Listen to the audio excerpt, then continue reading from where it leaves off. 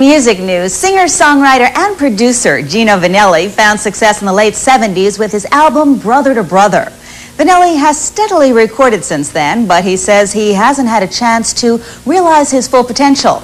Now, as Jack Poorman reports, Vannelli has his own record company and a new tour, and he feels it's time to share his experience with others.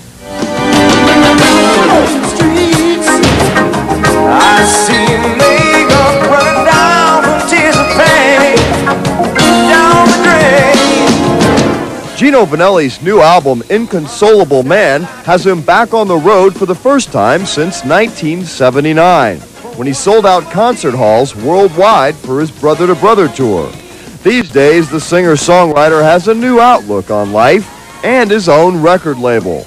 Ironically, Vannelli today faces musical territory very similar to a decade ago, where dance music is favored over melodic style. Pop music was taking a different turn, and I still maintain that, that melodies and, and uh, heartfelt um, uh, sincerity in lyrics and approach was important to me.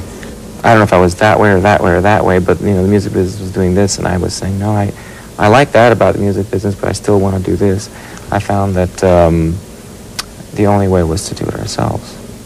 Pinstripes always on fire. Take a little weight off. Starting his own label was hard. But just as difficult was finding the confidence he took for granted when he first started out as the cocky young singer who could do it all. There's a point where you have to lose it. Every man has to go to a, a dark place where nothing exists within him, where he dies unto his old self, and he begins to be, in a certain way, born again, where he starts revealing himself to himself again. If you don't go to that dark place and die, once in a while. You just don't grow. You just need to shed your skin.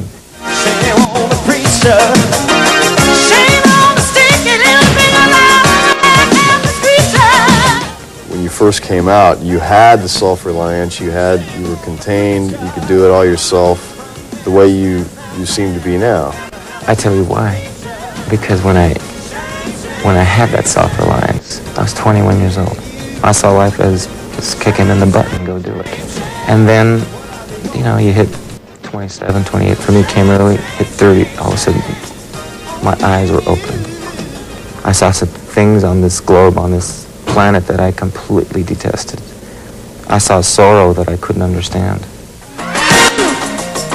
Gino Vannelli's heightened sense of awareness has turned his writer's eye towards the plight of the homeless and child abuse on his current record And given him what he calls a greater meaning to life.